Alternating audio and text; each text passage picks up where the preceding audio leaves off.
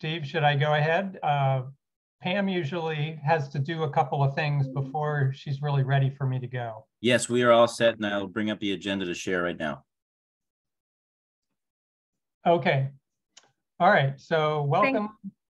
I'm Sorry, so go sorry. ahead, Johanna. I am going to go off video for just a few minutes while I finish eating dinner. Okay.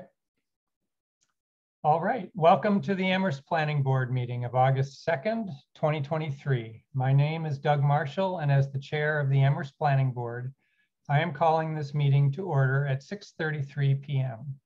This meeting is being recorded and is available in live stream via Amherst Media. Minutes are being taken. Pursuant to Chapter 20 of the Acts of 2021 and extended by Chapter 2 of the Acts of 2023, this planning board meeting, including public hearings, will be conducted via remote means using the Zoom platform. The Zoom meeting link is accessible on the meeting agenda posted on the town website's calendar listing for this meeting. Or go to the planning board webpage and click on the most recent agenda, which lists the Zoom link at the top of the page. No in-person attendance of the public is permitted. However, every effort will be made to ensure the public can adequately access the meeting in real time via technological means. In the event we are unable to do so, for reasons of economic hardship or despite best efforts, we will post an audio or video recording, transcript, or other comprehensive record of proceedings as soon as possible after the meeting on the Town of Amherst website. Board members, I will take a roll call. When I call your name, unmute yourself, answer affirmatively, and return to mute. Bruce Coldham, Present. uh, Fred Hartwell, Present. Jesse Mager, Present. I, Doug Marshall, am present. Uh, We've been told Janet McGowan will be absent. Johanna Neumann, Present. thank you. And Karen Winter will also be absent. So we have five members present this evening. Board members, if technical issues arise, we may need to pause to fix the problem and then continue the meeting. If the discussion needs to pause, it will be noted in the minutes. Please use the raise hand function to ask a question or make a comment. I will see your request and call on you to speak. After speaking, remember to remute yourself. For the general public, the general public comment item is reserved for public comment regarding items not on tonight's agenda. Please be aware the board will not respond to comments during general public comment period. Public comment may also be heard at other times during the meeting when de- deemed appropriate by the planning board chair. Please indicate you wish to make a comment by clicking the raise hand button when public comment is solicited. If you have joined the Zoom meeting using a telephone, please indicate you wish to make a comment by pressing star nine on your phone. When called on, please identify yourself by stating your full name and address and put yourself back into mute when finished speaking. Residents can typically express their views for up to three minutes or at the discretion of the planning board chair. If a speaker does not comply with these guidelines or exceeds their allotted time, their participation may be disconnected from the meeting. All right, so time now is 6:36, and the first item on tonight's agenda is approval of our uh, new minutes. The minutes for June 21st are, were included in the packet and are ready for our review. So I'd like to ask for any comments at this time. Bruce, I see your hand. Uh, yes, uh, I tried to, oh, here we go. Uh, I tried to see them a moment ago, but they didn't seem to be in the, uh, on, on the website, whereas they were previously. But uh, this one thing that was mentioned in, uh, I'm talking about the, uh, the restaurant uh, on Main Street. I can't remember the name, but it was the, so if you keep going down to the next page, I think it was the, there we go, there. Um, the restaurant is equipped for gas. Uh, Ms. Fitzgibbon said that propane is considered a green fuel and is LEED certified. Um, I, I know at the time I said, you've got to be joking.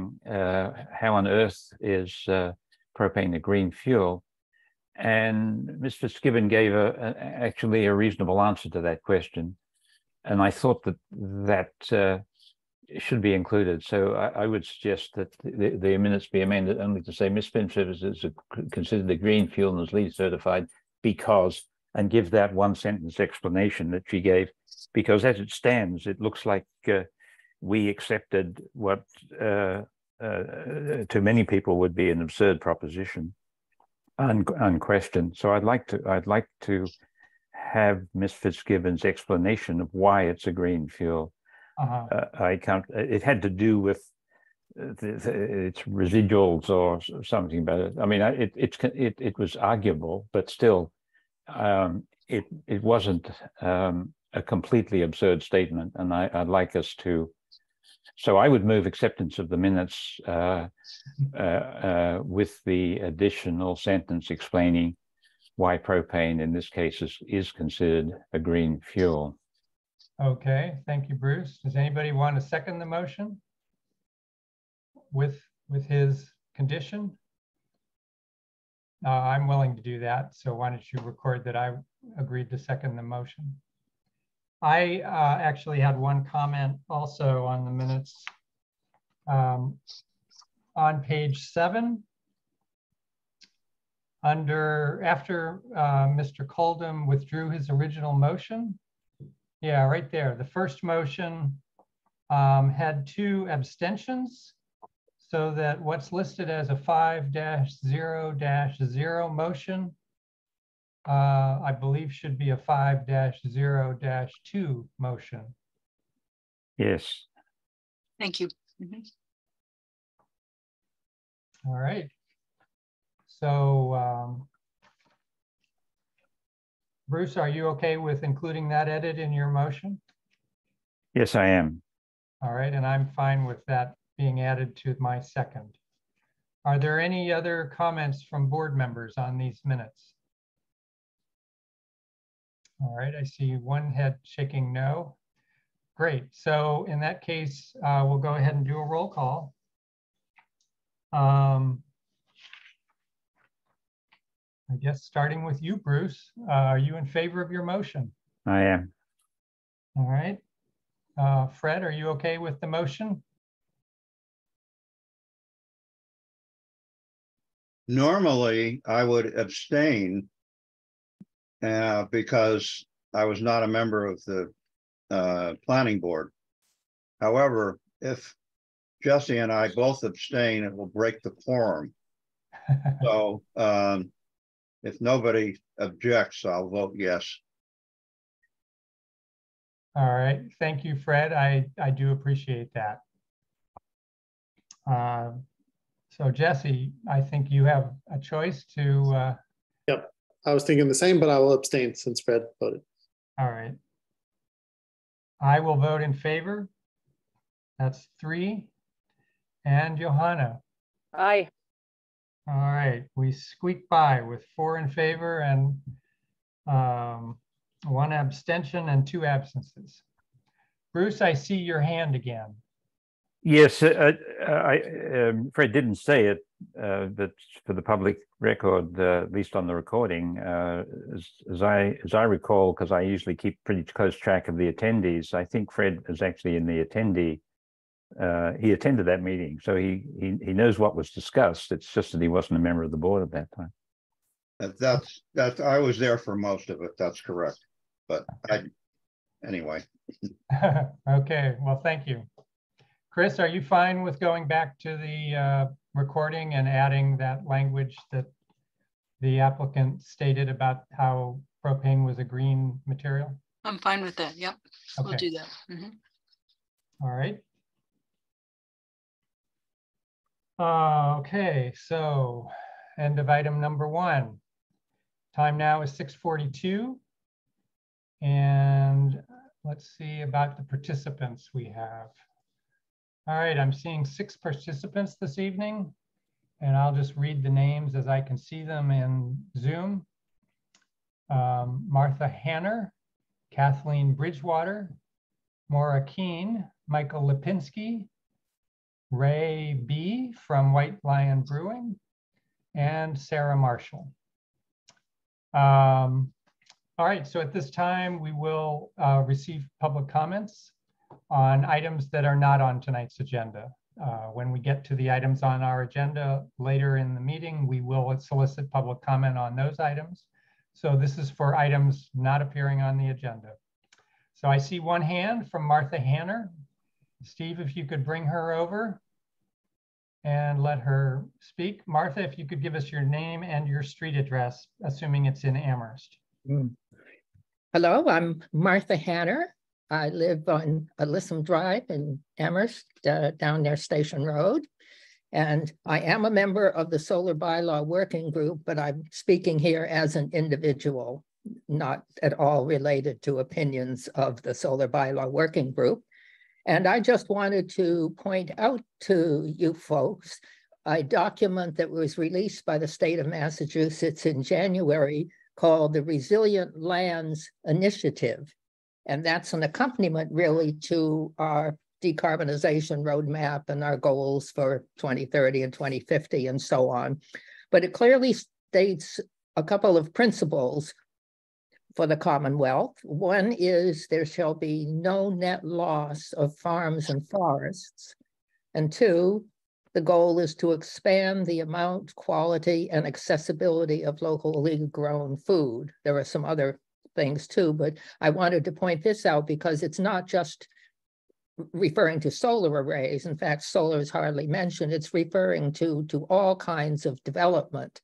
I mean, as I'm sure you folks know that after the 19th century farms, then forests and so on began to grow back in Massachusetts. But in recent years, then uh, development being taken over for uh, housing and so primarily has increased more. And again, the natural working lands are diminishing. So that this is uh, one of the goals that needs to be uh, considered for, you know, thinking about future and uh, possibly then um, in my view, might suggest even it could be incorporated into our zoning bylaw in terms of if there's forest and farmland that is removed for housing development or other kinds of development, then that then a comparable amount of the forest or farmland uh, should be then put into uh, permanent or long-term preservation. So that's my comment for the future. Thank you. Okay, thank you for joining us. And thank you for your work on the solar bylaw working group. Okay, Steve, we can move Martha back to the participants. And I don't see any other hands from the public for other public comments. Is there anybody else? I'll give you one more chance to raise your hand. Anybody else want to speak at this time? Okay, I don't see any. All right, so the time now is 6.46. We'll go on to the third item on the agenda. Um, and that is a public hearing. All right, pursuant to chapter 20 of the Acts of 2021, and extended again by Chapter 2 of the Acts of 2023. This hearing is being conducted via remote means and is being held for the purpose of providing the opportunity for interested citizens to be heard regarding SPR 2023-08 White Lion Amherst LLC at 24 North Pleasant Street.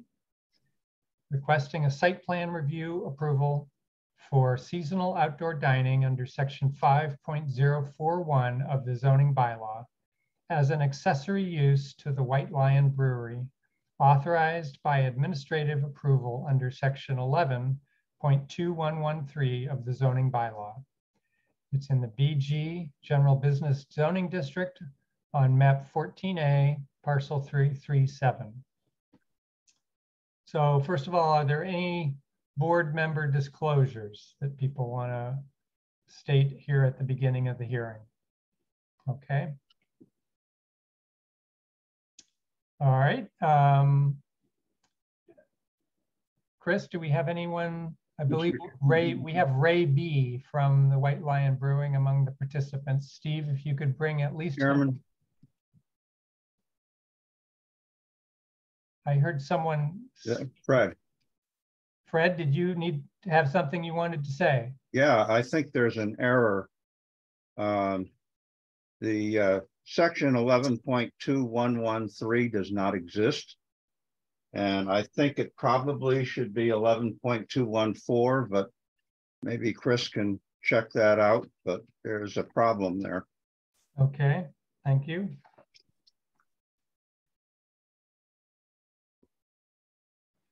I, may I say something? Yes, Chris. I think that um, unfortunately, uh, the bylaws that you were all given when you joined the board are out of date and the up-to-date bylaw is online. So let's look online and see what that says. And we did have um, Mr. Morra, building commissioner, check over this legal ad that we published. So I think that the um, I think we're probably correct with regard to what I just said. Okay.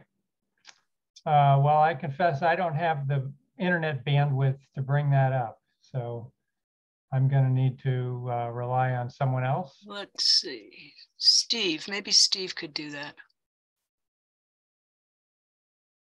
Sorry, how can I help? Uh, we'd like to bring up the zoning bylaw so we can look for section 11.2113. Absolutely. Just give me one moment.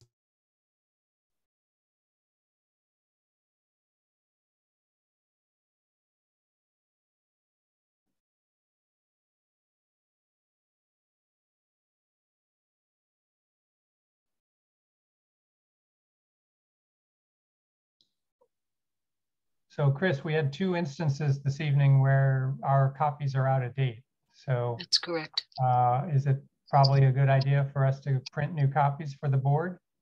Yes, we were waiting until after July 1st because we didn't have any money before that.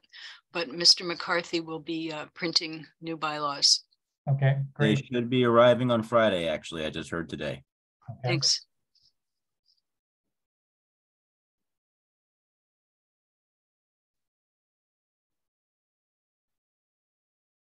All right, thank you for your patience as I pulled that up. Let me uh, bring this up here.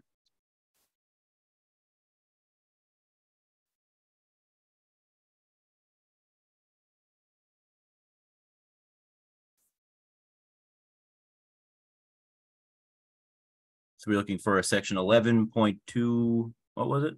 113.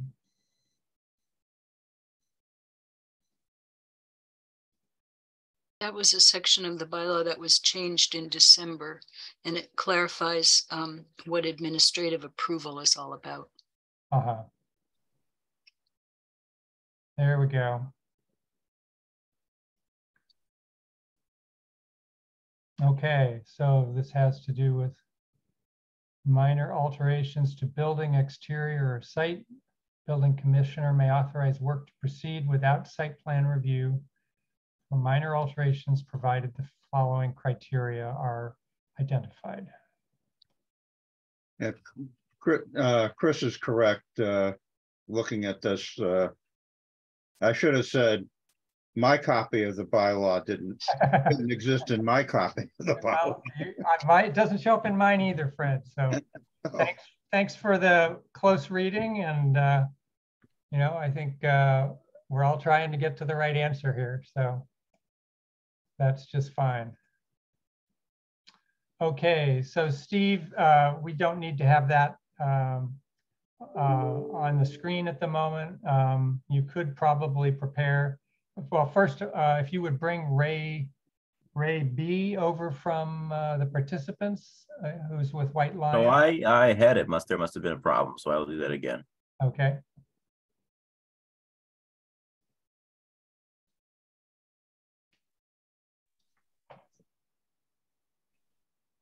How you doing, friends? I apologize. That was uh, no error of the town of Amherst. That was an error on my Mac. For some reason, it dropped again uh, every time I try to go live with a video. I apologize.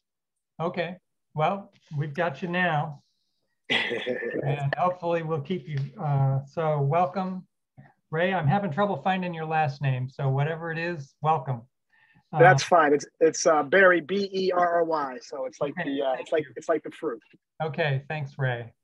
Um, so welcome to the meeting, and um, I gather you've been in pretty pretty close conversation with uh, Rob Morra already about the work inside the building. Um, but if you could uh, show talk to us about the work outside the building. I did see a couple of drawings. Do you want to bring those up, or should we ask Steve to bring those up? Um, now that I'm on my phone, I would uh, humbly ask Steve to uh, bring up whatever Okay. you want to display on the screen. All right, so Steve, if you could uh, go to the packet and um, scroll, well, maybe maybe we'll hold off for the moment. I don't, it's not clear. I've got everything here, so just let me know which document you'd like up. The drawings that I was thinking of are really of the interior of the building, although there is some exterior on the first floor plan. So why don't you bring up the first floor plan in the packet as part of that application, just so we've got a visual of the furniture layout that, that is being proposed.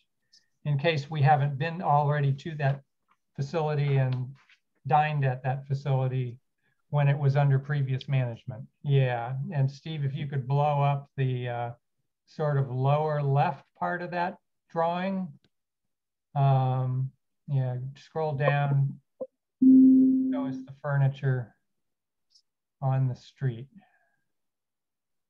All right, that's good, that's good. Okay, so Ray, uh, tell us what you'd like to highlight for us this evening.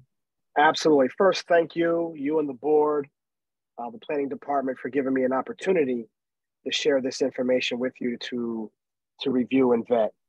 Uh, we're very excited to be part of, uh, or soon to be part of the Am- Amherst downtown landscape.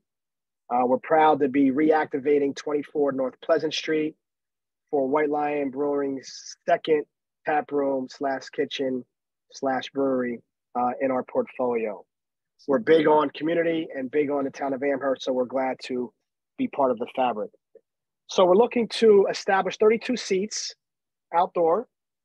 Uh, we are reactivating a space uh, or seating footprint that was already in place prior to our arrival. The seating, the foot plates, uh, and the wrought iron fencing were all custom made prior to our arrival. And we thought that the integrity and the layout of that existing uh, footprint was worthy to remain whole. Uh, the consumer base, the town of Amherst, uh, the vehicle uh, foot traffic, vehicle traffic, foot traffic footfall was very familiar with the layout, and we didn't want to compromise that. So what we did was we refurbished all of the tops, we cleaned up the concrete, repainted the wrought iron fencing, to bring back some of the beautification. We refurbished some of the awning string lighting uh, and added to that, which was already previously approved, some of the White Lion uh, uh, physical assets and branding. So we think that between uh, the 32 seats, its layout, uh, the previously approved branding, it adds some value to the ongoing um, beautification of that of that of that North Pleasant corridor. So, uh, with that being said, I also just want to make note that there will be no outdoor heaters. Uh, we do have two respective uh, security cameras uh, with monitors that uh, monitor those security cameras on the interior of the space. Um, the benches are permanent. There are three two seat tops that would be occupied by all seasonal um, indoor outdoor chairs so when the evening is or when we close for the evening the chairs come inside. When we open for the day the chairs come outside. Um, so we're pretty excited about that as well. I had also shared in the preliminary walkthrough that white lion in springfield and white lion in amherst uh, does not provide table service. So people would have to come in to the tap room, uh, bar area, make their respective orders. They will be given a, uh, notification um, instrument. Then when their food or beverage is ready, we would accompany that to their particular seat. Uh, it's worked well for us that way in Springfield, and we hope to uh, make that work in Amherst. If an adjustment is needed to be made, we will do so accordingly to our own interior management plans. But uh, other than that, to be honest with you, I think that is it from my end. There may be some questions on your end, and we would welcome them. Okay, thank you, Ray. You're very welcome. So our, the next item uh, in this conversation, uh, Fred or Jesse, I gather the two of you went to the site uh, visit yesterday to see the space. I guess if one of you would be willing to give us a recap of the topics discussed and any observations that you want to share.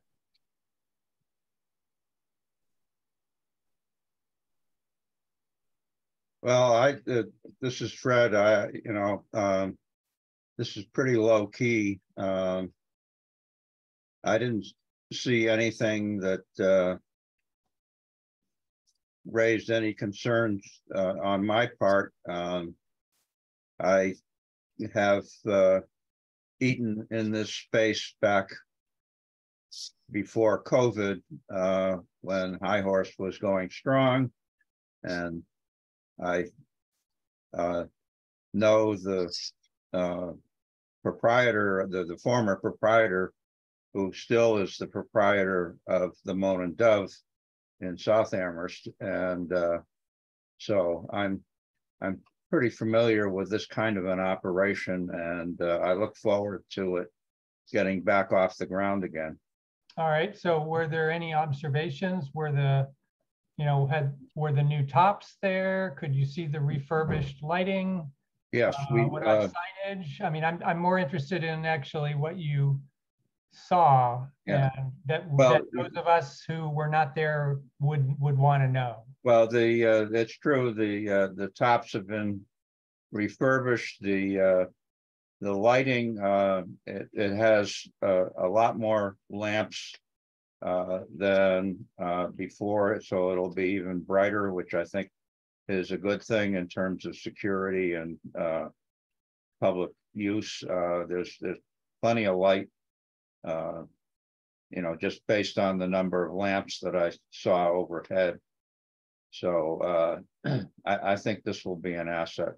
All right, good. I see Jesse, you, you've got your hand up too. Would you like to add anything to that? Sure. I was just gonna add that basically Ray covered exactly the topics we discussed. So he showed us the refurbished tops, the repainting and the, the concrete's been scrubbed with whatever paint was on there. Um, Okay. it all looked pretty much in good shape to me. All right, great. Okay, so uh, board, board questions and conversation. Jo- Johanna, I see your hand. Great. Thanks, Doug. Um, thanks for the report. It's exciting to hear this space getting revitalized. Um, I had one question about the addition of lighting. So are there actually new fixtures? And if so, where are they? And are they downcast light? Great question. Thank you very much. Uh, the existing infrastructure of lighting that is on the facade of the building remains the same. There were no additional, or I should say, there were no additions. The only lighting that we addressed um, from a canopy perspective was on the undercarriage, where we added maybe an extra 50 to 60 feet of bulb lighting uh, that will cast a greater illumination or a greater illume to uh, the seating area outside. It will not um, obstruct any of the common walkway area uh, or impact any of the uh, foot traffic or vehicle traffic. It, it's a direct spell down onto uh, the seating area. So Ray, this, all the, all the lighting that was, all, all this particular lighting is either underneath a part of the building or it's underneath the canopy that was already there. Correct. Absolutely. Yes, sir. Okay, so we don't need to worry about it shining up in any direct, in any way. No. Okay, good. Uh, Jesse, I see your hand. Yeah, uh, related question. Um, I didn't see in any of the provisions the business hours are listed, but Ray, will the lights stay on? Will they go off? Tho- those same lights we are just discussing at the end Yeah. of close of business, just from an energy and pollution standpoint. Absolutely, great question. So they are on a timer, and that timer will be set according to uh, dusk dawn. Um, so if we open up at let's say 11 in the morning, uh, they would probably come on uh, around two in the afternoon, three in the afternoon, and they will shut down as the sun goes down uh, at close or at closing, I should say. So if we close at 10 p.m., they would be shutting down around 10 p.m. Um, accordingly. So it would it would mirror. Would, uh, to answer your question directly, they would not be on 24 seven. It would mirror the operational aspect of our of our Monday through Sunday. Great, thank you. You're welcome. Okay. Great. Um, board members, are there other, any other questions at this point? If not, I'm going to go to public comment and uh, invite public comment about this uh, this application. Is there anybody in the public that would like to comment at this time? All right. Do not see any. All right. Um, are there any, in that case, we'll come back to the board. Um, are there any final comments that the, the board would like to make? Okay, so before we go to a motion, Bruce, I know you, you may be ready to make a motion. Um, Chris, you sent out a set of draft conditions for this uh, permit, and I thought it would be worth us going through that um, before we get to our vote. So, and so that we can incorporate those into one comprehensive motion to approve, presumably, to uh, impose the conditions and then uh, close the hearing. So Steve, great. Thanks for bringing those up. Um, all right. So Chris, uh, I guess I, I wanted to ask you, you had sent an earlier email this week saying we needed to look at the previous permit for the conditions that were imposed on High Horse. And um, so I'm thinking, I, I, did look at those pretty briefly while I was traveling, but um, are these uh, entirely identical to what uh, High Horse had, or have there been any changes from that? They're very similar to what High Horse had, and I did review the conditions of High Horse with regard to the outdoor dining with the building commissioner. And these are the ones that he and I decided would be most appropriate for this um, establishment for the outdoor dining. Okay. Uh, do you do you think we should go through these? I we we often read these. Um, yes, I do. Um, okay. All right. Is do you think it would be uh, useful to kind of go through that other email that I sent yesterday um, that kind of explains how this all fits together? Yeah, I think I think that certainly would be good just to get that in the in the sort of public record for uh, how this relates to the administrative approval that Rob Morra has done and um, and that kind of thing. Okay, so, so what, if, with your permission, why don't I go through that? Sure. Um, so the White Lion Brewery was already approved by administrative approval by the uh, building commissioner.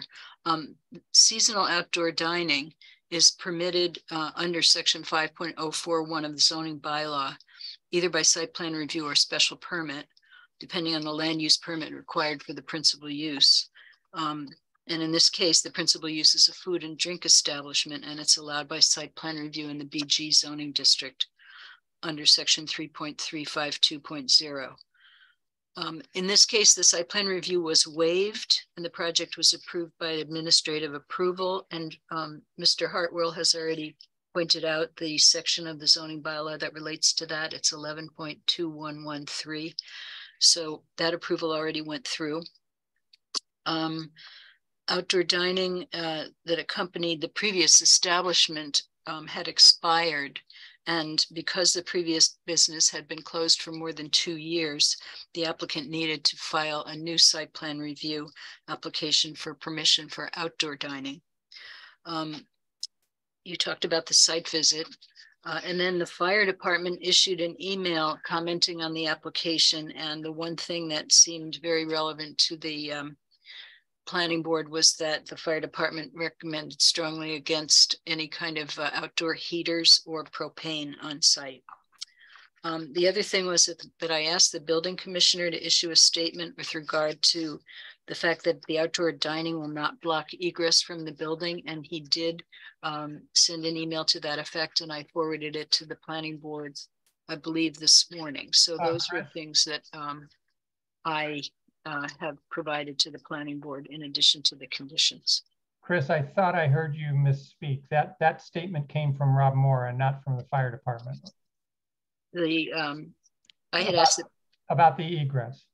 yes, uh, the, Okay. the egress statement came from Rob Morra. That's correct. All right, The, the statement with regard to the heaters and um, propane came from the fire department.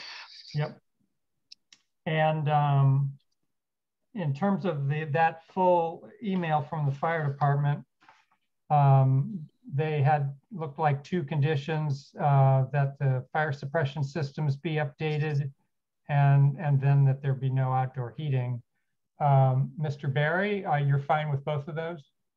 Absolutely. The, uh, we're ready for a fire inspection next week. So we're, we're, we're getting close to having the fire department come through and, um, take a look at those two permits that we pulled for approval. Okay, all right, good. All right, Chris, uh, would you like to read these conditions or would you like one of us to do that? I can, I can read them if Okay. that's okay with you. Sure. Um, so number one is the outdoor dining area shall be configured substantially in accordance with the floor plan prepared by Kuhn Riddle Architects dated uh, seven, five, twenty-three and approved by the planning board on, and then we would put tonight's date in there. Any substantial changes to the approved floor plan shall be reviewed by the planning board at a public meeting. And the purpose of the public meeting shall be for the planning board to determine whether any changes are substantial enough to require a new site plan review application. Is that one satisfactory? Um, Well, I, I mean, the first sentence says, seems to, it seems a little circular. Um, because any substantial changes shall be reviewed, but we are reviewing it to find out whether, I guess, whether they're substantial enough. Okay, all right. Well, the, um, the second sentence, uh, applies to anything that occurs after tonight. Yeah, I guess I'm, I'm just wondering whether we could use a slightly different adjective like substantive or Oh, yeah, something that's not duplicating the third sentence. yep, that's fine. Yep.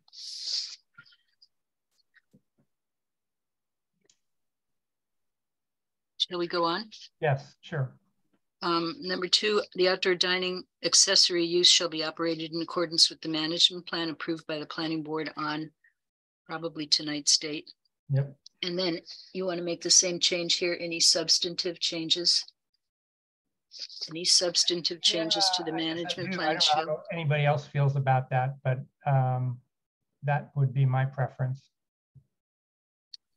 shall be reviewed by the planning board at a public meeting, and the purpose of the meeting shall be for the planning board to determine whether any changes are substantial enough to require a new site plan review application.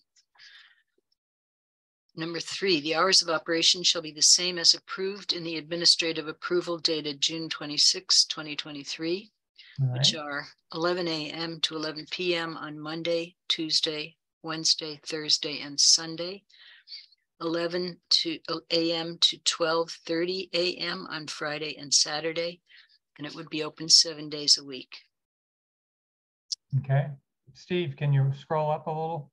Great. Oh, Jesse has a question. Oh. Um, oh, yeah, Jesse. Thanks. Uh, really similar point to what before and question for how we operate. Should that provision about the lights being off be in there as well with the hours of operation, or is that a detail we don't need to include? Uh, we certainly can include it.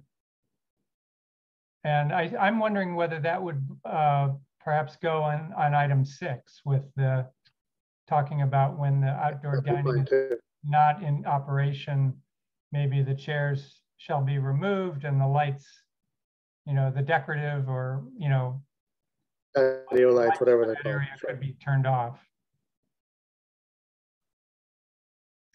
Okay. Uh, So Chris, why don't you go ahead?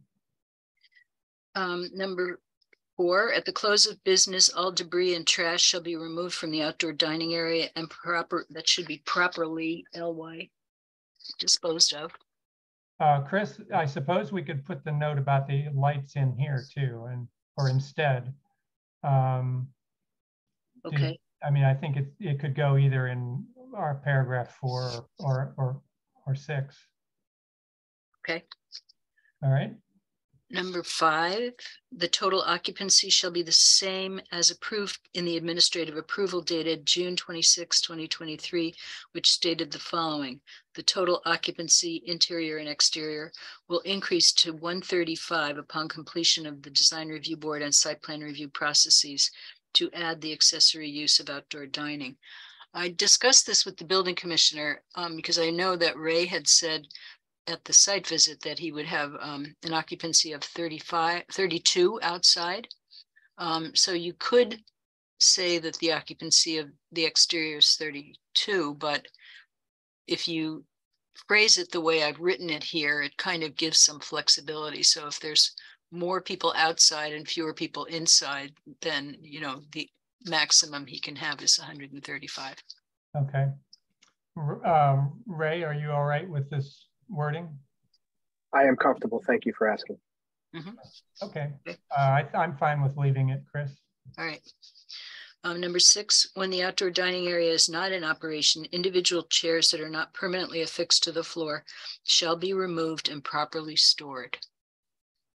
Okay, And you thought that maybe the lights, the issue of the lights should go here? Or, yeah, I mean, I, I think it could go either four or six. Johanna, I was almost thinking that we just have a close of business checklist. uh, There's Yeah. one item, the debris and trash gets removed, the chairs go inside and the lights go off. right, yeah, we could just consolidate them. okay, that's good. Yep. Thank you, Johanna. Um, number seven. uh, In accordance with the email from Captain Chris Bascom of the Amherst Fire Department to Pam Field Sadler dated July twenty-fifth, twenty twenty-three, there shall be no outdoor heating appliances or LPG tanks allowed on site. Um, okay, I, I assume that at some point, if they decide they would like to apply for that, they could come back and do that. Mhm. Okay, Number eight, any music offered in the outdoor dining area shall be limited to a volume that does not impede normal conversation for patrons in the outdoor dining area. all right. Well, um, I did want to ask, uh, Ray, have you had conversations with the Drake upstairs and whether there's any possibility of your, your music interfering with their operations? Um, the Drake, I, it's my understanding that Drake did a sound test, um, operating and then um, walking through our space to see if there was any noise that was transferred down. Uh-huh. Uh, at at this point in time, there there was there was no concern. We also installed uh, approximately twelve soundboards to our ceiling. Um, so if we play light music or have some sort of entertainment, we're hoping those soundboards will create a nice reflective uh, barrier, not to uh, impede on the upstairs uh, occupancy. All right. Great. I guess we can go on. Nine, upon change of ownership, the new owner shall present a management plan and any changes to the floor plans to the outdoor dining area to the planning board at a public meeting. The purpose of the public meeting shall be for the planning board to determine whether any changes are substantial enough to require a new site plan review application. Okay. Johanna, Well, So let's say management changes and they don't make substantive changes to the floor plan. Do they still need to come before us with their updated management plan? They do, um, in order for you to, um, see that the management plan is the same. So it's, this is in lieu of having the permit expire upon change of ownership, which is very cumbersome. And so if we can just have the new owner to come back to the planning board to meet the planning board and present a management plan, whether it's the same or different, and then any possible changes to the floor plan. so then the planning board can, you know, determine, yes, we're going to approve this, this is fine, or no, there are so many changes that you need to come back for a site plan review. Does that make sense? Uh, I think so. I think, you know, Johanna, it sounds like what you might have been getting at is that we've had a couple of paragraphs above that sort of suggested we're likely to have a new site plan review anyway. Uh, is that, I mean, we're, we're here tonight because there was this gap of more than two years and the previous permit expires if it's not in use for more than two years, right? It did expire, yes. But that was because of the interruption of operation, right? Yes, and so the building commissioner feels that if, if this had continued to operate and then Ray came in and took over from High Horse and was going to have an, establishment, then Ray would need to come and meet with you to present his management plan. And you would determine, is this management plan satisfactory? Uh-huh. And compare it to the previous management plan or not. And that, and that conversation would simply be uh, an item on the, on the agenda that was not a public hearing. It's not a public hearing, no. Okay. All right. Well, Johanna, I mean, I guess it That's is. fine. You know, there's part of me, uh, this is me, probably neither the time nor the place, but there's part of me that feels like this could be an administrative, like review type decision down the road rather than having to bubble up to the planning board. Right. Uh, So, but again, Maybe that'll be the next board. Uh, Jesse, Thanks. Um, backing up slightly, I'm wondering about that point seven about the outdoor heating. Um, and I guess it's partly a question for Ray and partly a question for the board. If Ray were to decide that would be nice, because to me that's a little limiting time, uh, seasonal limitation. Is it very onerous to then get that approval and does that have to come back to the board? And is there a way we can word it so that it's just a fire uh, approval issue rather than coming back to the board? Chris, what's your understanding? Um, I think it's important enough for the fire department that they put it in their um, memo. And actually, it was Mr. Morra, the building commissioner, who recommended um, putting it into the conditions. So I think it would require them coming back to the planning board if they wanted to use outdoor heating appliances. So that would simply ensure, say, that we have touched base with both the fire department and the building commissioner? Mhm. And, and so this is sort of a higher level of scrutiny, I guess? Mhm. Hmm, okay, Bruce, your thoughts? I, I agree. I think uh, the, what this is saying is that there won't be any. The owner, uh, Ray, has indicated that he's not intending to do so. And so basically, this is just saying that we are not, we haven't yet gone through the process of trying to figure out all of the ins and outs and, and, and so forth associated with these appliances.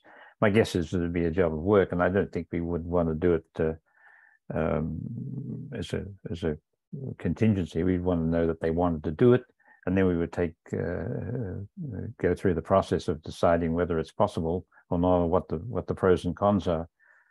Uh, but at the moment, this is just saying we haven't gone we haven't gone there, and uh, so no heating appliances are allowed. And uh, but they can come back if they choose, and we can go through that process, which may be elaborate and lengthy and and, and contentious, or it may not. But it's it's uh, we're not doing it now. Yeah, I guess um, if there weren't a probably combustible canopy over this area, it might be a different conversation. Um, but I think it's the canopy that's really prompting the fire department to want to be really clear about this.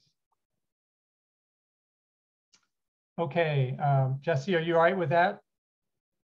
Okay, all right. All right, Chris. Um, I think we were through this page. Uh, Steve, can you scroll up a little?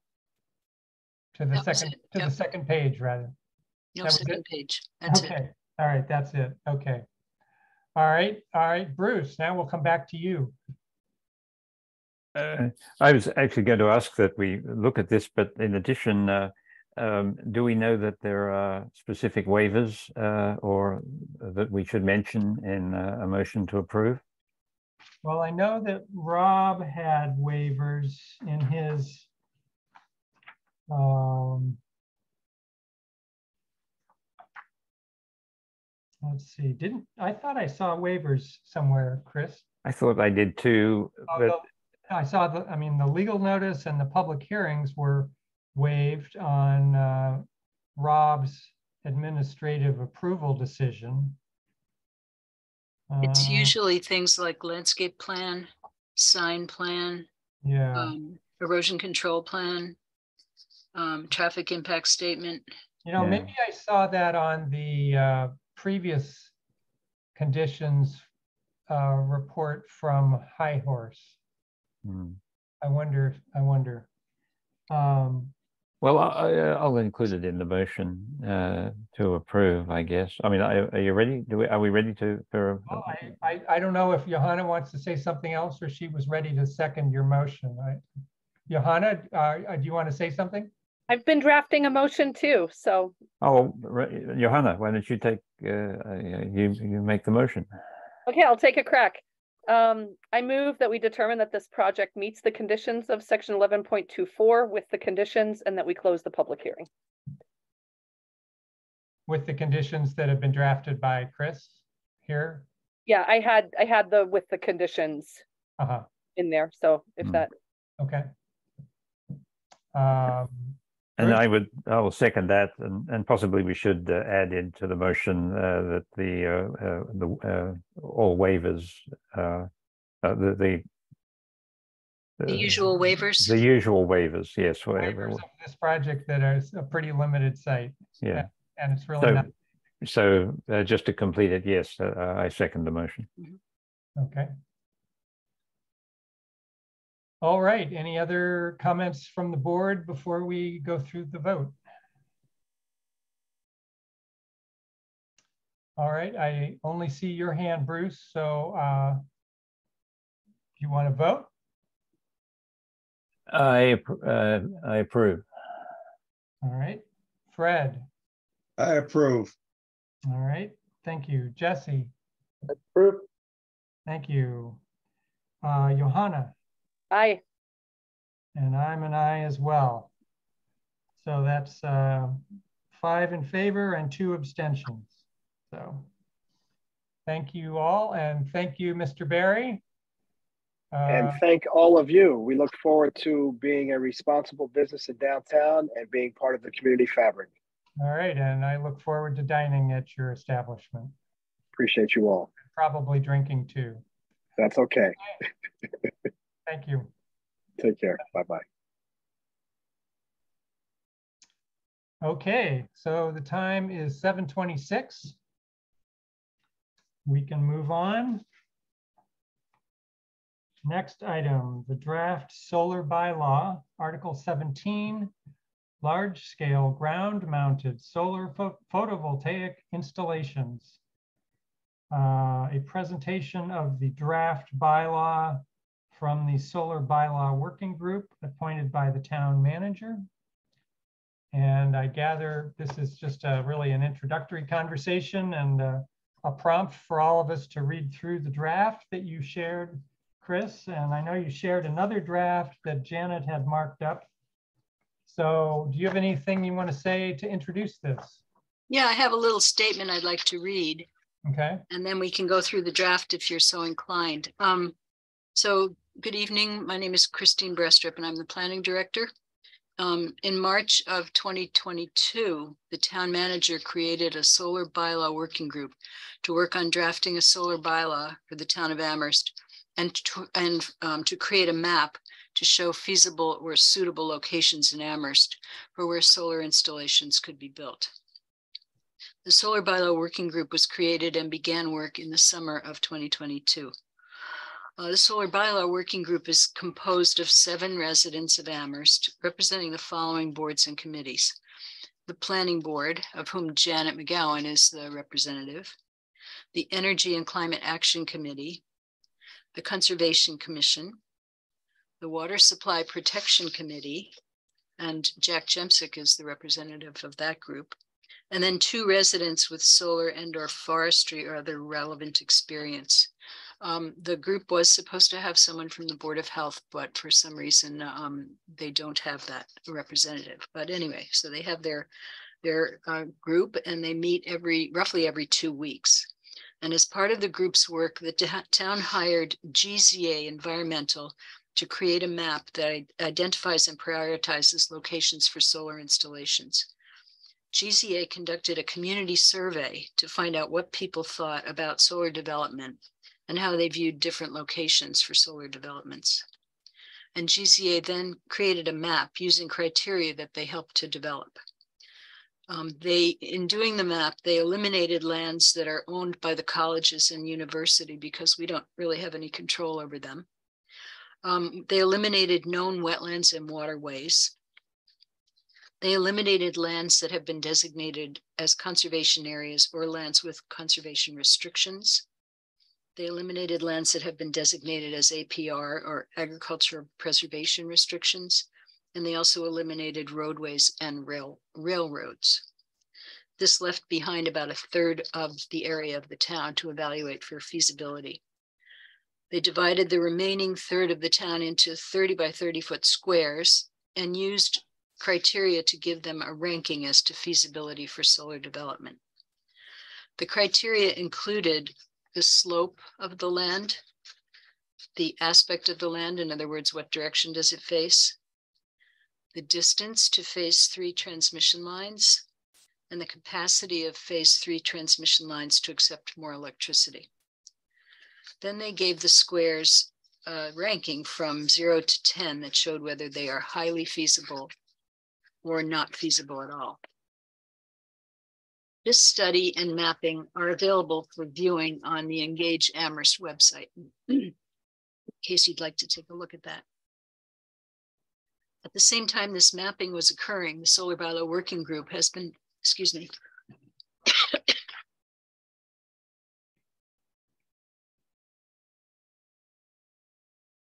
They've been drafting a solar bylaw that's meant to become part of the, our zoning bylaw. And the solar bylaw is based on work of the Pioneer Valley Planning Commission, the DOER, which is the Department of Energy Resources, the Cape Cod Commission, as well as bylaws of various cities and towns throughout Massachusetts. We've also been consulting with our town attorney at KP Law about what a solar bylaw should contain and how much we can regulate about solar installations. Chapter 40A of Mass General Laws governs zoning. And Section 3 of Chapter 40A has certain limitations on the regulation of various types of development, including religious and educational institutions and solar installations. With regard to solar installations, Chapter 40A, Section 3 states that no zoning ordinance or bylaw shall prohibit or unreasonably regulate the installation of solar energy systems or the building of structures that facilitate the collection of solar energy, except where necessary to protect the public health, safety, or welfare. So within these limitations, the Solar Bylaw Working Group has been drafting a solar bylaw. And I'd like to just run through a brief introduction of that with you um, keeping in mind that this is just a draft and that it's your first look. We have a goal to deliver to the town manager by the end of August, a draft, but this, it may take a little longer than that. And right now we have most of the solar bylaw drafted.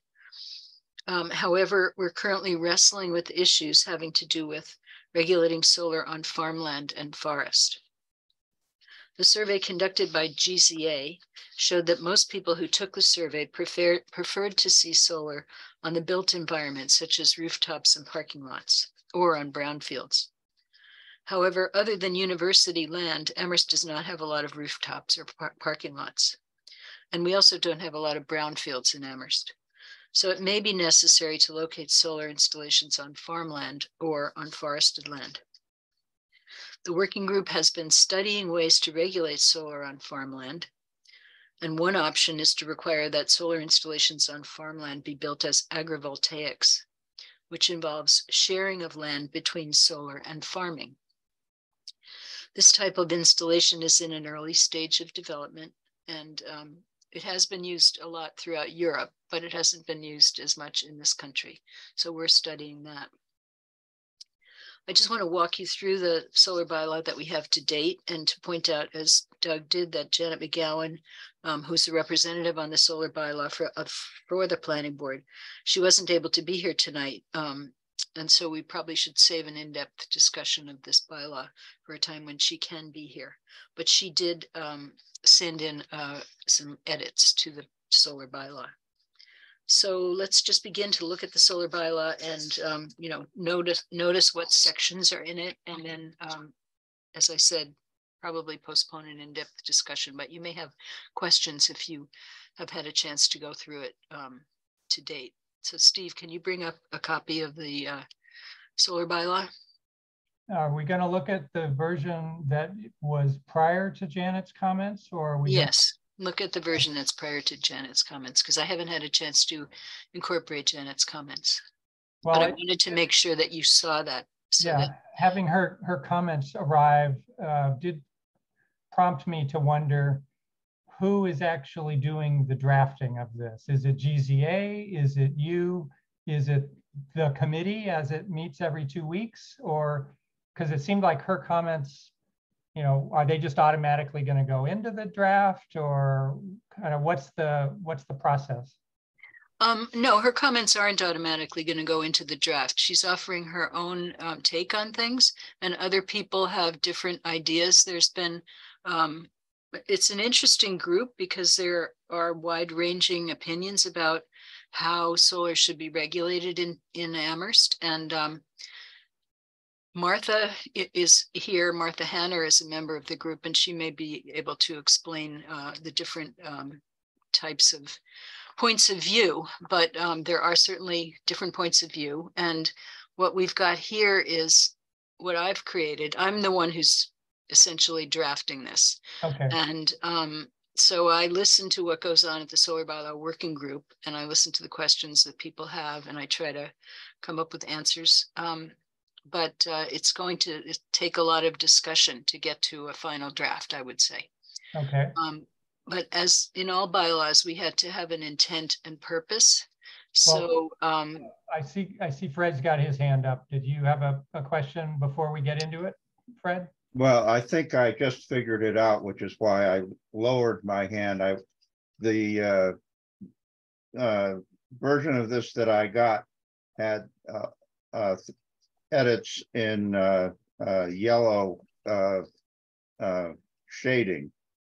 And I was wondering if that was uh, what that was, but now I know, I- see CB, I assume that's Christine Brestrup, so that's Chris's uh, edition Yeah, I and not Ms. McGowan's. Correct. yeah, my edition is the one that's on the screen right now. That's dated July nineteenth, twenty twenty-three, and then Janet's, um, I believe is dated July twenty-seventh. Okay, so And her I- edits showed up with track changes in red. Yeah, so- and I wanted to make sure that you saw that because Janet couldn't be here. Right. Um, but I haven't had a chance to really read those in depth or incorporate them. Okay, Um, Uh, Fred, you still have your hand up. Are you all set for now? Um, well, I, when, when we're ready, I do have, I, I did flag one of the things that I, I wanted to alert people to, but we- Okay. I'll wait until, uh, we get a little further along, I guess. All right, so let's see, can we? Great, okay, go ahead, Chris. So I don't want to read all of this um, multi-page document. What is it, 18 pages or something? But I think it is worthwhile to read the intent and purpose that we have here um, because it is, um, it only deals with large-scale ground-mounted solar installations. It's not dealing with rooftop installations and it's not dealing with smaller installations. Um, and it also, we're trying to balance a lot of different things. So why don't I go ahead and read the intent and purpose, and then we can kind of skim through the rest of it. So the purpose, and, and Janet did have several additions that she wanted to make to um, this list of things that we have here. But as I said, I haven't incorporated those yet. So the purpose of this article is to promote the health, safety, and general public welfare by promoting and regulating the creation of new large-scale ground-mounted solar photovoltaic installations by providing standards for the placement, design, construction, operation, monitoring, modification, and removal of such installations the town of Amherst recognizes the urgent need to convert to non-carbon energy sources to promote solar energy development and to sequester carbon to slow and reverse climate change. This bylaw aims to balance multiple needs, the need for non-carbon forms of energy generation and storage to meet climate action goals, the need to promote the health, safety, and welfare of the people of the town of Amherst and the region, the need to preserve the natural environment, protect sources of carbon sequestration and storage, and minimize impacts on scenic, natural, and cultural resources. The need to provide adequate financial assurance for the eventual decommissioning of such installations, and the need to recognize, recognize the rights of landowners to use their land. If you could scroll down a bit, Steve, so that we can look at the bottom of this page. So this article uh, strives to regulate solar and energy storage facilities in order to encourage solar installations to be installed on built and previously degraded environments to the extent technically and economically feasible, and to control negative impacts on areas such as forests and agricultural lands, otherwise known as natural and working lands. This article balances the critical goal of increased solar energy production with reasonable regulations, thus serving to promote the health, safety, and general welfare of Amherst residents. This article encourages the use of solar energy systems and protects solar access consistent with Massachusetts General Laws, Chapter 40A, Sections 3 and 9B, which is solar access, 18, and Green Communities Act, MGL, Chapter 25A, Section 10. And this article is also supported of the, supportive of the mass, of the Amherst Master Plan, the Open Space and Recreation Plan, the Climate Action, Adaptation and Resilience Plan, and the Massachusetts Clean Energy and Climate Action Plan for 2025 and 2030, and Massachusetts Decarbonization Roadmap 2050. This article strives to encourage and regulate solar and energy facilities in a manner that reflects the equity and justice of impacts and opportunities across all sectors of Amherst residents, with particular concern on our low income and marginalized communities. The provisions set forth in this article shall take precedence over all other less restrictive sections of the zoning bylaw and the regulation of these entities. We're calling them LSSPIs right now we have to think of a short version of large scale so ground mounted solar photovoltaic installations, but we haven't come up with that yet. Um, anyway, so we also have um, applicability. In other words, what does this apply to? Then we have a list of definitions. So you want to keep scrolling through, um, Steve? Keep scrolling. I'm not going to read all of that.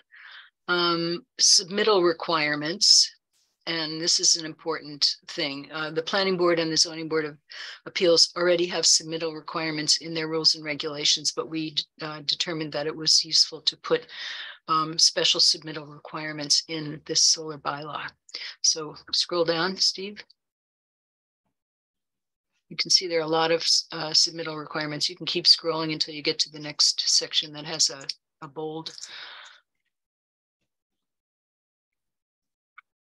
uh, excuse me, design standards. So we have um, sections on certain things, access roads, lighting, signage. Steve, you want to scroll down?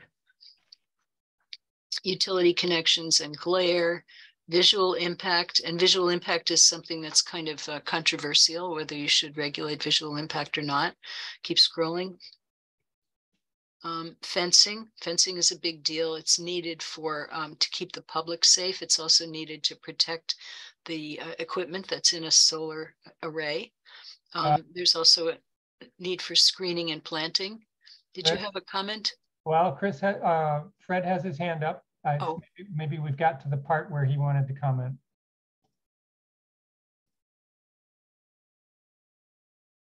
Fred, you are muted. There we go. I clicked it once and it didn't work. Okay, Uh, could you scroll up to page four, please?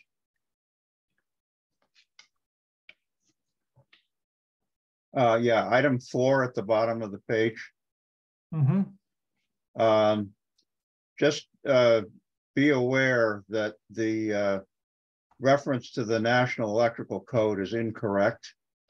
And this is a very, very complicated subject. Um, it's probably going to be the National Electrical Safety Code, which is a totally different code. Um, and I'm happy to, uh, work with the, the committee on this, uh, but th- this is not a simple reference. It may look like it, but trust me, it is not simple at all. Um, and, uh, while I mention this, um, I didn't want to do this without, uh, kind of the, you know, the permission of the board. Um, I would like to forward this draft to one of my colleagues who has, uh, his career, uh, the first 20, 30 years of his career was with a, uh, a, as a, uh, engineer for Massachusetts Electric and their systems. And about the last fifteen years, he left Massachusetts Electric and what he does now is do, uh, uh, engineering on large scale solar. Uh, and he and I are on a first name basis. We both sit on the Massachusetts Code Committee. And uh, I can't think of anybody who would be, in terms of electrical, uh, would be uh, in a better position to uh, to look at this. But I Mhm. didn't want to do it without, uh, you know, mentioning it at this meeting. okay. Why don't we, why don't we maybe come back to that? Um, You know, after Chris, after you get your, That's fine. go through? Okay, um, let's see, signage, glare, visual impact, fencing, screening and planting, slope, um, control of vegetation, whether we're gonna require dual use or not. And then there's this thing called maximization of ecosystem services. That's been somewhat of a a discussion item for us. Can you go back up a little bit, Steve? Yeah. Yep. So I had never heard of ecosystem services before I became engaged in this project, but this was brought to my attention by Dwayne Breger, who works for the uh, for UMass for the extension service dealing with um, issues related to solar, and he is, you know, he's very um, aware or familiar with this term, but essentially, it um, is kind of an overarching way of looking at protecting the land and allowing um, the plants and animals to, you know, survive and thrive, and trying to keep the ecosystem working, even though you are installing something there in its midst that you know is potentially disruptive. So that's what this is about. Um, so you can scroll on further. Uh, And then- oh. um, did you want to comment on that?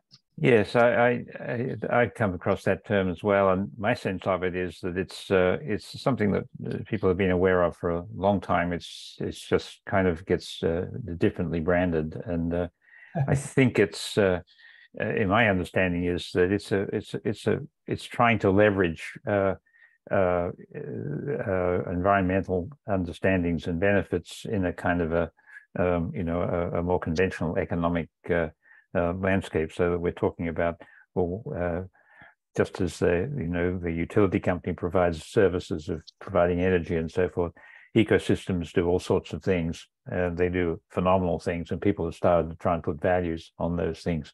And I think it's a, a good idea. but that seems to me that, that what this is, what this should be trying to do is just, just to say, well, you know, there are services that the, the, uh, the, the, natural world provides in terms of, uh, you know, filtration and pollinations and all of those things. And uh, we, uh, I guess this is trying to encourage us to look at it in those terms uh, because we're looking at PV systems going on the land and we're saying we need those because they provide electricity. And my guess is that the eco ecosystem services side of it is saying uh, the ecosystem is providing services as well. And we have to balance those. And, and it's trying to uh, um, uh, level the playing field, if you like, I think, between what uh, man-made stuff uh, does, because we've always imagined that that was super important and uh, and that the environment stuff just kind of happens and we don't notice it. But nowadays we're trying to put them on an equal footing. That's a good explanation. Thank you. Um, so we we've been talking about dimensional standards and setbacks, and this is also kind of a sticky wicket because some people really want things to be set back pretty far from um, roadways and from residences. Um, on the other hand, you know, people other people want to maximize the extent of a solar array to be able to use up as much of the property as possible um, to gain the most um, solar benefit. So um, we've been kind of going back and forth with regard to this. Some of you may be familiar with the Hampshire College solar array on Bay Road that has a setback of 30 feet from the front property line. Um, and I think it has a setback uh, of 25 feet from the from the sidelines. So anyway, that gives you like a visual reference to what does it mean to have a 30 foot setback. So we're still working on this. Um, then we also have to deal with scenic roads. So Steve, if you just stay on the, page 11 for a minute. I just wanted to explain that um, for scenic roads, there is a scenic roads map that we have on our website. I think it's on the planning planning department website, or maybe it's on the planning board website. But anyway, um, uh, scenic roads have been a factor in Amherst since 1974. There are certain roads that have been designated as scenic roads, and we wanted to be able to treat them specially with regard to um, setbacks. So we're suggesting a setback of 100 feet here. But again, that hasn't been voted on or decided on by the solar bylaw working group. So this is kind of just a placeholder, if you will. So you can keep scrolling. Um, so side and rear setbacks, again, I used Amherst College as an example uh, with their 25 foot setback um, from the side lot line. But some people may feel that if you have you know, a residential neighborhood or even just one house next to a solar array, that the setback should be larger than that. So um, again, we're this is something we're still working on. And Chris, Steve, if you'd keep scrolling. Chris, when you say the array, are you talking about the panels with their support, or are you talking about the fence, or are you talking about the service road that needs to go around the array inside the fence? I think it would be the fence. Okay. But that's a good question. We haven't been specific about that. Um, and then we've talked about natural and working lands, particularly with regard to agricultural land. And people on the Solar Bylaw Working Group have varying opinions about this. So Steve, if you'd stay at the top of that page, that would be helpful. Um, you know, there's the idea that you there are various options as to how to treat agricultural land. You could prohibit solar arrays on prime farmland or farmland of state importance. However, large portions of Amherst are containing um, prime farmland and farmland of state importance. So that would really um, do away with quite a bit of our land as far as you know putting solar arrays on it. You could limit the size of a solar array on this type of land, so that would be option two. You could allow um, solar arrays on prime farmland and farmland of state importance only if um, agrivoltaics is used. And then uh, another option would be to um, treat it in a way that if you use a certain amount of prime farmland or farmland of state importance, that you would then set aside um, an equal amount somewhere else, either in Amherst or in an adjacent town, and put a deed restriction on that property to um, to uh, you know preserve that land during the life of the solar array and then the fifth option is not to have any restrictions on use of uh, on installations on farmland. So that's that's at one end of the spectrum of people on the solar bylaw working group um, or people in the audience who don't want any restrictions. And the other end of the spectrum is to not allow it at all. So that's kind of the playing field that we're on here. So it's an interesting conversation. Um, with regard to, did someone have a comment? To the category as determined by the US Department of Agriculture, not irregardless of whether the land is actually being farmed. True?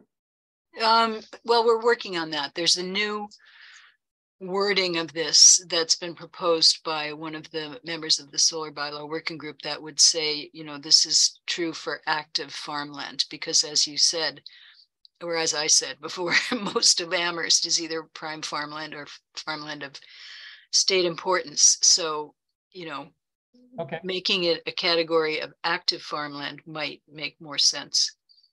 Um, then with regard to forest cutting, this is treated in different towns differently. Some towns have very strict requirements with regard to fire, uh, forest cutting, such as I think Belchertown doesn't allow more than ten acres of forest to be cut for a solar array. Um, there are other towns that have, you know, other limitations. Um, Shutesbury has a requirement that if you cut a certain amount of forest, then you have to um, somewhere else preserve four times as much forest in another location. So that's kind of a um, one end of the spectrum with regard to this um, topic. So what we've suggested here is that for forest cutting, that if you were to cut an acre of forest, then you would um, p- preserve an acre of forest elsewhere, either in Amherst or on land in a town abutting Amherst. And that would be um, shown on a map that would be filed at the registry of deeds. And there would be a deed restriction placed on that land for the life of the solar array. okay. Bruce, you have your hand up? Yes, so a question for Chris on this. Uh, uh, Shutesbury, a four to one ratio, uh, which suggests that uh, uh, forests uh, are four times as valuable and uh, one to one in other places. Uh, I've heard discussions on this, particularly recently. Uh, a, a- friend of mine, Bill Moomaw, um, uh, speaking about the uh, well, the ecosystem uh, services related to forests uh, and and um, similarly the benefits of uh, of, of, of solar arrays. Um, so it uh, the question is: Is there work uh, that is uh, uh, that where uh, has a broad consensus yet been achieved between the the relative value of forests and PV arrays vis-a-vis the the kind of things that are important to the future of society, or does that four to one difference represent um, a, a substantial disagreement, or thirdly, is it simply arbitrary uh, that uh, has said four to one and and someone else has said one to one? Is there is there any rhyme or reason to those proportions? I don't know how Shutesbury came up with that um, four to one ratio, but we have heard, the Solar Bylaw Working Group has heard, um, you know, fairly different um, takes on whether solar is more beneficial or forests are more beneficial. We have heard people present information to us and even um, one member of the Solar Bylaw Working Group presented information to us that was vastly different. And so I would say it depends on who you're listening to as to which thing is more beneficial and and how you how Shutesbury achieved the four to one ratio, I really don't know. They have a very strong um what should I say? Uh support. We call it a nexus statement um for having that ratio and they're um you know they purport that forests are very important to the life in Shutesbury with regard to uh, water um, erosion control and water supply and a lot of different things. So Hmm. they are different from Amherst in terms of many things. They're much more rural town. They don't have a really a downtown area. They don't have much commerce. They have very sparse housing. So I would not say that we should necessarily look to them for our model, but I'm pointing out that that is um, one way of, you know, protecting forests when you also want to allow a solar development. Um, I could also point out that Shutesbury's bylaw is being challenged by a solar developer. So Yes, yeah. um, you may So have heard about that. So it sounds like uh, uh, no real consensus. Uh, and so uh, I was wondering if that's the case, that any proportion that's put in might have a rider that says that that would be reviewed in five years because uh, it may be uh, we could get agreement more rapidly if it was uh, uh, if it was an if it was a proportion that was established with a five-year sunset or a five-year review, and Mhm. then people might not need to go to the mat over it because in five years there would be a scientific consensus, I'm sure. Mhm. Yep, and so and just to point out another um, way of dealing with this, the way we deal with the um, requirement for affordable housing in certain instances, that we could require a payment in lieu. In other words, um, if you're going to clear cut a certain amount of forest, that you um, pay the town a certain amount of money to um, allow you to do that, and then the town would put that money into a fund, and that fund could be used for land preservation or, you know, something related to um, keeping ecosystem services running properly. And it looks like uh, Johanna has a Johanna, comment. I was just thinking this could finally fund our shade tree program. Yep. I think that was one of the suggestions. and and I, I guess, uh, Chris, I, it's, it, touch- since you've mentioned uh, conservation land and, you know, that the payment in lieu might fund more conservation, this whole thing is kind of raised in my mind, conservation for what? Um, you know, by taking, by excluding conservation land from the survey that GZA did, uh, we may be actually uh, missing an opportunity to at least be aware that some of the conservation lands the town owns are really great for solar and don't have huge, you know, ecosystem detriments. And, um, you know, I could imagine the town saying, gee, we're not getting enough solar from private developers. Here's a couple of parcels that the town would put out an RFP and say who, who would like to put solar on it. Except that I think that the conservation land is controlled by, I believe it's chapter ninety-seven of the Mass General laws, and it makes it very hard to do anything with that land other than conserve it or have it available for people to, you know, walk through it.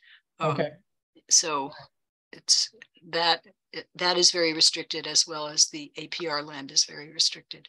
But that idea that you're sharing, maybe there are other lands that we could look at in terms of that. yeah, it just sounded, it was surprising to me that we really were below a third of the land. Yeah, it surprised me too, which makes me, and I'm sharing my own ideas here, but it makes me feel that um, further restrictions that we put on solar may end up, you know, kind of shooting ourselves in the foot if we have so little land available to put solar on and then to put a lot of restrictions on that land. Are we going to end up with no places to put solar? So that's a conversation that the solar bylaw working group is having and that the planning board may choose to have as well. Maybe Okay. not tonight, but sometime in the future. Okay, Johanna, Oh, I'll share one more thought and then we should probably, you know, there's obviously a lot of interest in this topic. Um, but uh, Chris, I was surprised to hear you say that the conservation land usage may restrict solar. And the, the only reason I'm surprised by it, and I can look into it a little bit more, is that um, Wentworth Farm is near the neighborhood that I live in. And I remember when we bought our house, looking into what could that land become and learning that it's open to a farm operating on the Wentworth Farm Conservation Area. And there are, you know, restrict pretty, there are restrictions on the type of farm that could operate there. But I remember being struck, like imagining farming on that space. And over the past couple of years, when I walk there, I sometimes just like do the exercise of imagining solar there. So I'd be curious to just know, and you know, the map layers probably show that, but um, but I was, I guess I was surprised to hear you say that your understanding is that solar would be off limits for all the conservation lands in town.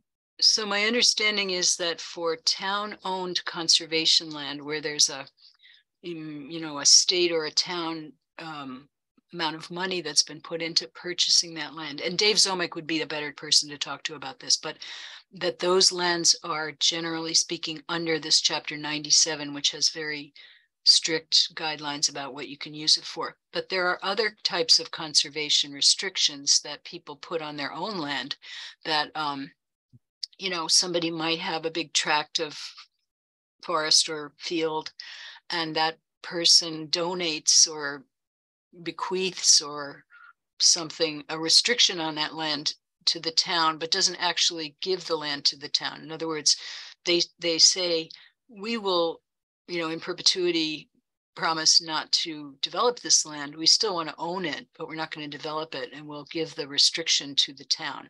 So that type of conservation land may be more available, probably depending on what the the um, agreement is in the conservation restriction.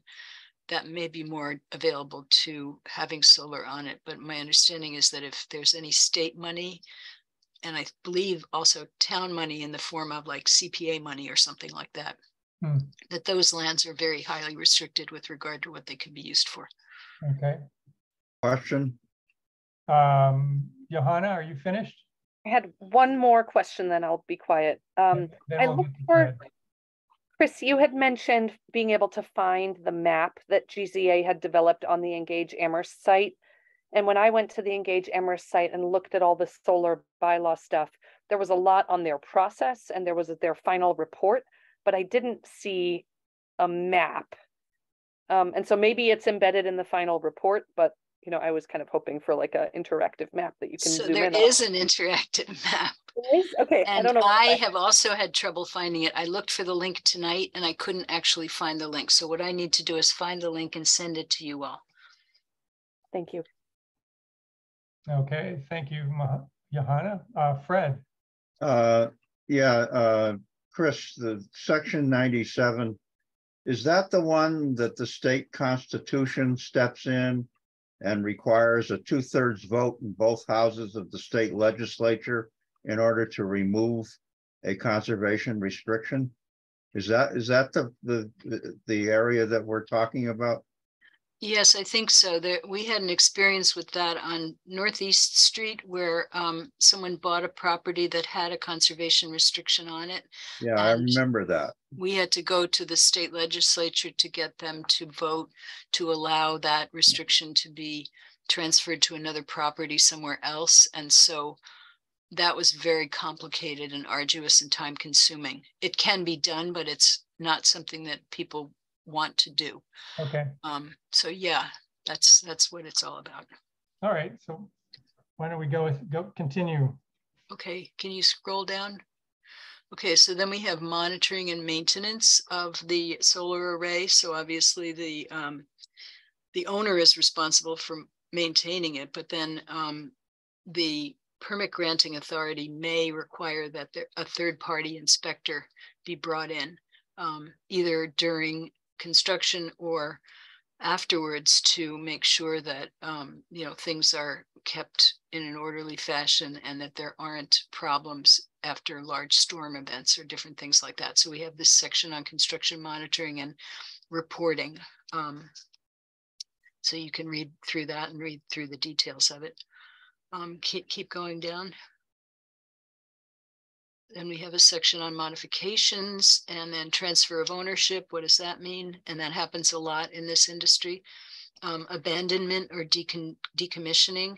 Um, I don't know if these things actually become abandoned. I think sometimes they do, but um, there certainly is going to be an issue about decommissioning in the future. And um, you can scroll down a little bit, Steve. Um, this requires that a bond or some kind of surety be placed um, with the town so that if the town becomes responsible for the removal in the future, that there's enough money to do that. So that's what that's all about. The town already requires that. So even though we don't have a solar bylaw, and I should have said this in the beginning, um, solar arrays are currently um, considered part of electric uh, generating plants, which is a certain section in our zoning bylaw. So they are uh, regulated by the Zoning Board of Appeals. Um, the Zoning Board of Appeals has approved, I think, five solar arrays, one on Hickory Ridge, um, one on Pulpit Hill Road, one on Montague Road. Anyway, two up in that neck of the woods, um, one on the landfill. Um, the planning board has reviewed one uh, at the Hampshire College um, on Bay Road. So I don't know how many that is, four or five.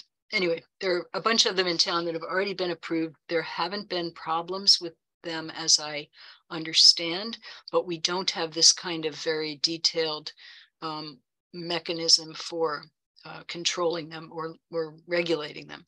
We just have the um, zoning board of appeals that is very zealous in its work and they have a list of criteria that they use for um, reviewing projects, but this will give them more guidance once we have something like this um, in place. Uh, Chris, that that I'm going to ask one of one of many questions I had, and most of which I'll just email you after the meeting. Um, but is this intended to be a site plan review or a special permit process or something else entirely? This is probably going to be special permit in most instances, but it could be that the um, solar bylaw working group decides that in some places, they really think that solar installations are a great idea and they would like the planning board to be uh, the controlling body um, under a site plan review. In other words, the use is well accepted in this location, but we just need some regulation about how it is uh, occurring.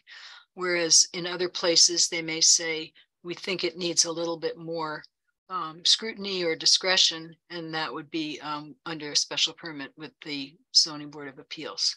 In the end, I think it's hard for either group to say no to a solar um, installation because of that chapter 40A section three that I mentioned earlier.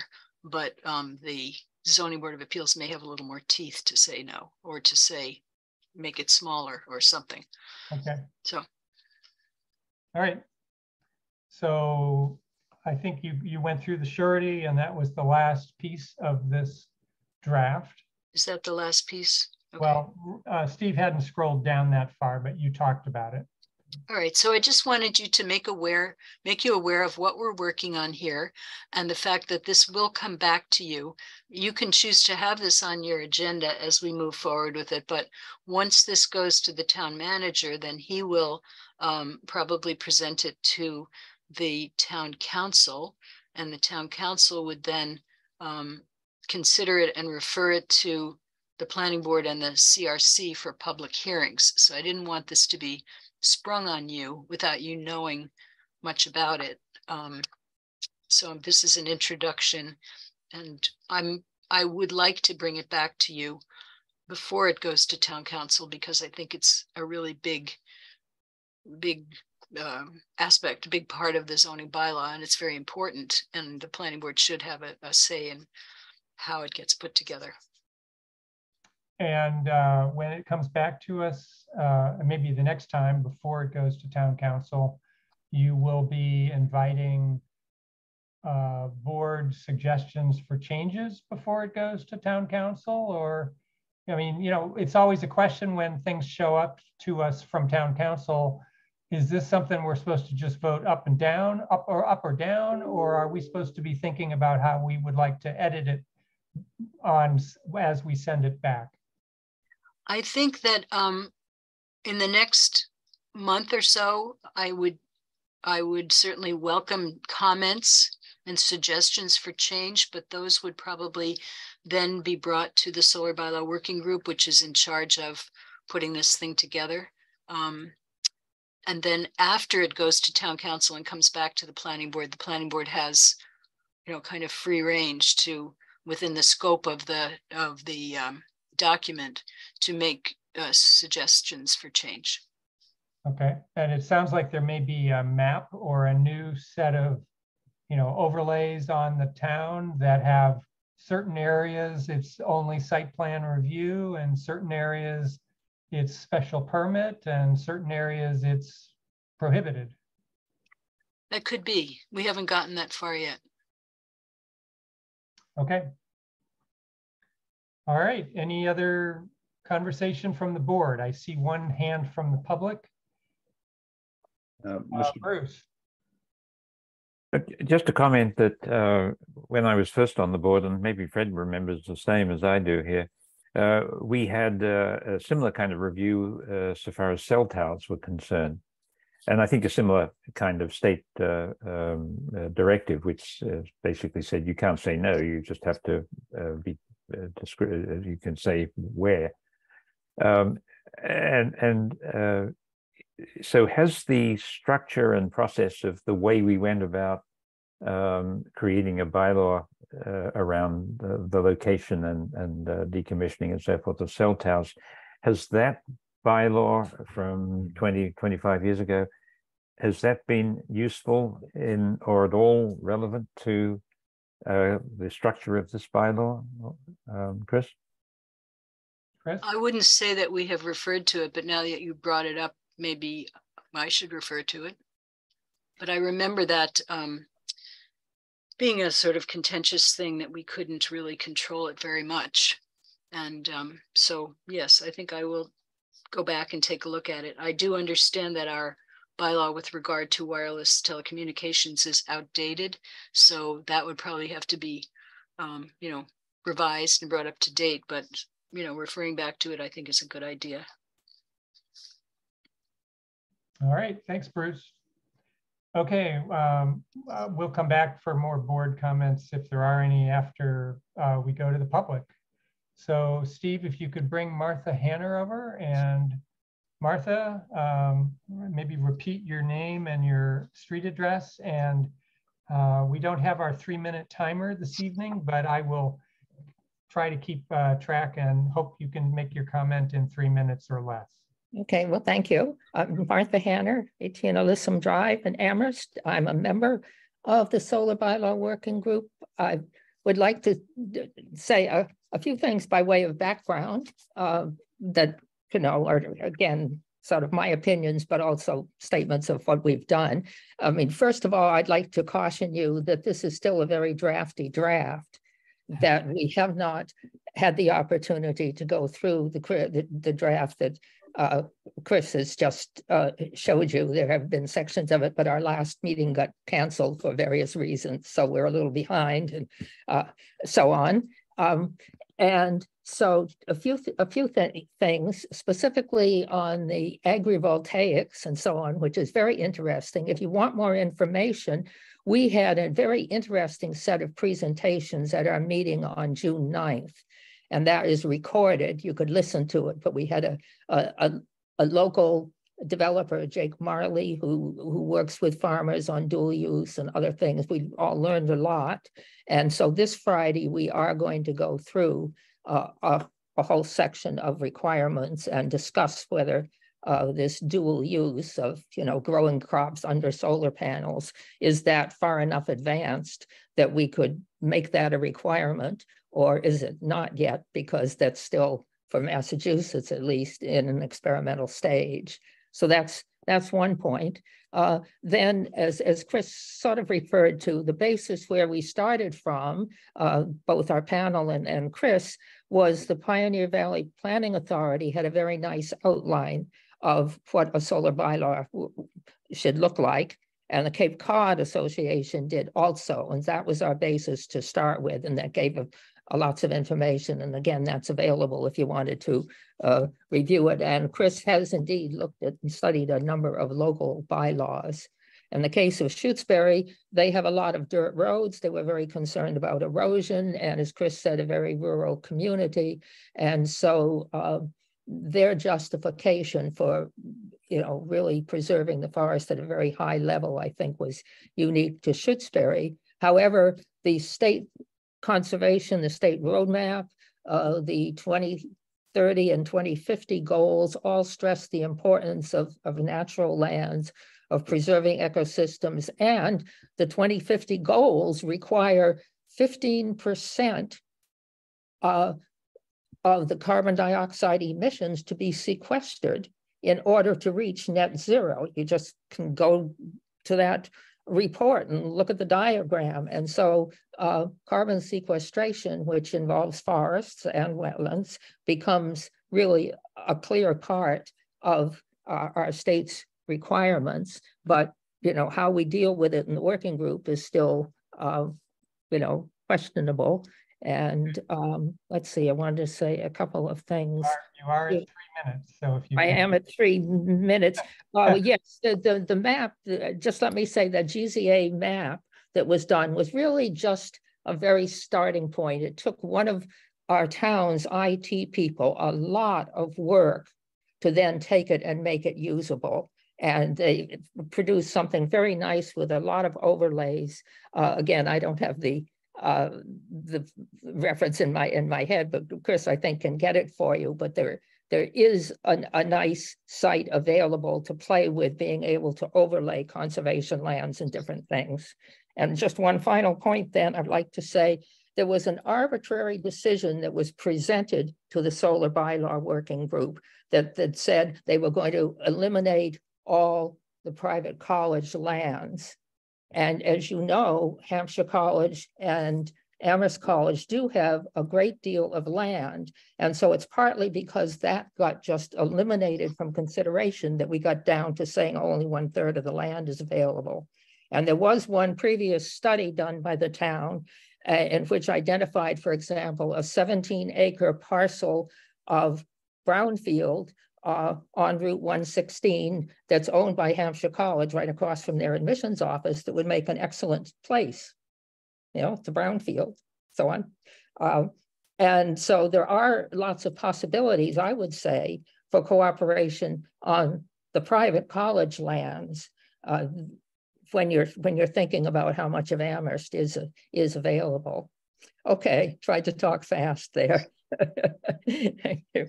Okay. So I would recommend waiting till you see the next go round of the draft after we've had this meeting and the next meeting before uh, really uh, giving a deep consideration. What would you think, Chris?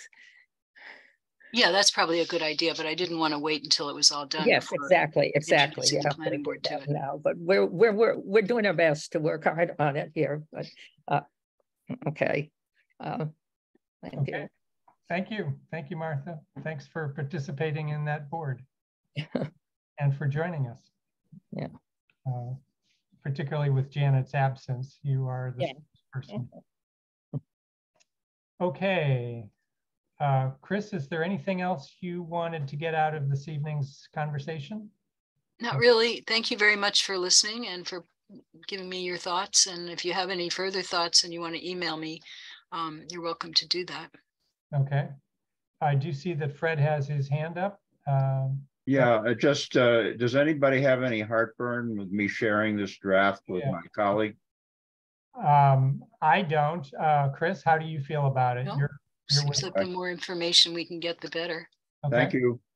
All right, I think Fred, uh, personally, if you do share it with him and you relay comments back, it would be helpful probably for him to give a little bit, bit a little bio of his background so that people have a sense of his perspective and where he's coming from. Sure thing. Okay, so it's now 8:21. We usually take a break at 8 o'clock. However, it doesn't seem like we have a lot more on our agenda, so I'm thinking maybe we should just go ahead and finish it off, right? Is everybody all right with that? Okay, um, great. So time now is 8:21 and we'll go to Item five on the agenda, old business. Item topics not reasonably anticipated 48 hours in advance. I don't have any old business. Okay. How about new business of similar late breaking arrival? No, no new business. No new business. Well, Okay, I'll turn the page. Uh, Item seven, Form A and R subdivision applications. None. All right, how about ZBA applications? I know we talked about one last meeting, and I suppose you'll bring that to us when it, when it's time. It's probably on the agenda. I think it may be on the agenda already for later in uh, August. The one that, um, well, the two that come to mind, one has started already, seven ninety-eight, eight hundred, um, North Pleasant Street is a project that has a duplex on it already, and it's, they're proposing to build another duplex there. So I told you about that project Yeah. already, but it is coming back before the zoning board on when, the twenty-eighth of September. Um, then we also have the Shutesbury Road Solar, which is being, um, coming before the zoning board on August twenty-fourth. Um, we do expect that to take multiple nights to get through the permit on that. That may have been the one that we wanted to see, I think. And we have you scheduled to have a presentation on that on August sixteenth. That's Okay. your next meeting. So at our next meeting. Okay. And so that's it for ZBA. Um, upcoming SPP, SPR, SUB applications. I'm not aware of any right now. Okay. All right, item 10, Planning Board Committee and Liaison Reports. Uh, Bruce, anything on PVPC? Yeah, no report. No report? I Uh, mean, uh, Jack has been sending odd things because Jack, although he's an alternate, is on the executive committee. So in some respects, he's not in some respects, in one specific as- r- r- uh, way, he's he's closer to the wheelhouse than I am by for by sure. Okay. And then CPAC and DRB are vacant. Uh, Chris, any? May, may I say something about that? Yeah. Um, so the planning board needs to consider, um, uh, nominating, um, a member to Yep. be on CPAC and to be on the design review board. And you'll probably have your elections coming up. Um, I'm thinking the first, um, meeting in September. Does that suit everybody? What date is that? That would be September sixth. Okay, The alternative would be to have the, have the, uh, elections on August sixteenth if you wanted to do it that soon, but. right. um, I need to look at my- our family calendar. I think I may actually be gone, uh, September sixth. Uh, I don't know if others will be. I mean, you can certainly have the, have the conversation and do the election without me. That's fine too. Um, so, um, would it be too soon to do it on August, on August sixteenth? Um, are, do we think all members would be present? I think we just got an email from Johanna saying that she would not be present on August sixteenth. Okay. All right. Um, I guess the other, I guess the other, the only other, I mean, the other possibility is to delay it to the one, in the second one in September. Or Uh, you could do it on the Sept- on August thirtieth, which August is when you're gonna have your um in-person meeting. Yeah, You wanna yeah. do it then? yeah, why don't we do that then? Yes, I'll be gone at the second meeting in September, I think. Okay, and Okay. so we'll you're gonna be, Elections on August thirtieth. okay. Good, so thank you for reminding us of that, Chris. Um, Janet is not here to talk about the solar bylaw working group, but we've gotten a pretty thorough report, I think. And we're having a meeting on this coming um Friday. It's starting at ten thirty in the morning and it's going till 1:30 in the afternoon. So if you wanted to tune into that, you could get a sense of what they're working on. They're meeting with the attorney from KP Law to talk about what are the limits that we can um regulate with in terms of solar bylaws.